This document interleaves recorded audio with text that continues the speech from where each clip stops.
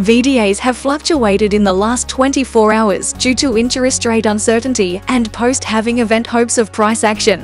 BTC remains near $66,000 levels, despite capital outflows in investment products like BTC BTCDFs. S&P 500 futures edged higher Wednesday morning as investors passed the latest financial releases from corporate America.